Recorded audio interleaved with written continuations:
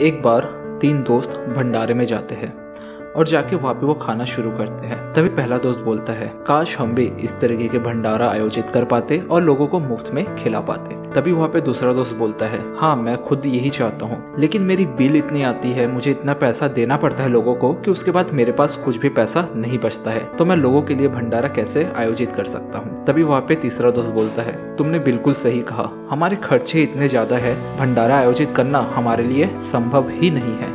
तभी बाजू में एक महात्मा इन तीनों की बातें सुनते रहते हैं और सुनने के बाद वो तीनों को इशारा करते हैं। इशारा जैसे ही करते हैं तीनों, महात्मा की तरफ़ देखते हैं और तब महात्मा बोलता है कि तुमको अगर भंडारा आयोजित करना है तो उसके लिए तुम्हें पैसों की बिल्कुल ज़रूरत नहीं है। जैसे ये बोलते हैं तो तीनों लोग एकदम ध्यान से सुनने लगते हैं, आखिर ये बोलना क्या चाह रहे हैं? तभी महात्मा मुस्कुराता है और बोलता है, अगर तुम्हें भंडारा आयोजित करना ही है तो ज़्यादा कुछ नहीं। तुम पाँच से दस ग्राम शक्कर ही चीटियों को खिला दिए करो, वही उनके लिए एक भंडारा हो जाएगा।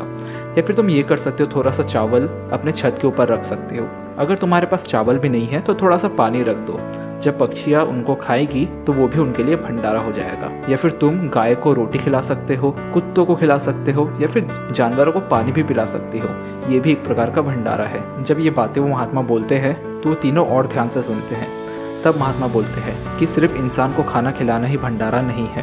भगवान ने सभी जीव जंतु मनुष्य को समान रूप से जीवन दी है। तो तुम अगर इंसान को नहीं खिला सकते हो तो तुम जानवर को खिलाओ। वो भी भगवान के ही अवतार है। उनको भी खिलाओगे तो वो भी एक प्रकार का भंडारा ही होता है। तो तुम्हारी अगर सोच अच्छी है तो तुमको पैसों की ज़रूरत नहीं है। तुमको अगर सच्चे मन से भंडारा करवाना है तो तुम किसी भी प्रकार से भंडारा कर सकते हो। बस तुम्हारा मन होना चाहिए लोगों को मुफ़्त में खिलाने का। और ये बोल के वह महात्मा अपना खाना शुरू कर देते हैं। तो दोस्तों, ये कहानी से हम क्या सीखते हैं? दोस्तों, आप अगर अपने दिल से चाहते हो किसी की सेवा करना तो उसके लिए आपको पैसे की ज़रूरत नहीं है। तो दोस्तों, इस तरह की कहानी सुनने के लिए इस चैनल को सब्सक्राइब करना, नीचे लाल वाला बटन है और उसको दबा देना, उससे हमारा प्रोत्साहन बढ़ता है और हम इस तरह की वीडियो आप लोगों के लिए ला सकते हैं। और साथ ही साथ इस तरह की कहानी अपने दोस्तों के साथ व्हाट्सएप में शेयर कीजिए। मिलेंगे नई वीडियो में, तब तक दोस्तों, अपना ख्याल रखना। जय हिंद, वंदे मातरम।